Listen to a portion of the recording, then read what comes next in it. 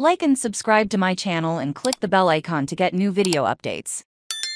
Girelli was crucial as Italy beat Argentina. Striker Cristiana Girelli came on as a substitute and headed the winning goal in the 87th minute. In the opening game of the Italy Women's World Cup against Argentina, the experienced Juventus attacker had replaced Giulia Dragoni in the 83rd minute, succeeding the midfielder who, aged 16 years and 259 days, became one of the youngest players in the tournament's history. Cristiana is a leader, a captain of this group. Italy coach Milena Bertolini said of the game internally, she is always there and we know what she can give. We re very happy. We know how important it is to start a tournament like this well. In front of a crowd of 30,889, Italy had previously seen goals from Arianna Caruso and Valentina Giacinti ruled out for offside. Italy also featured 18-year-old striker Chiara Beccari from the start. Next up they traveled to Wellington to play against Sweden, who also have three points in Group G on Saturday. Argentina's next game is against South Africa in Dunedin on Friday. Italy have lost touch since an impressive performance at the 2019 World Cup,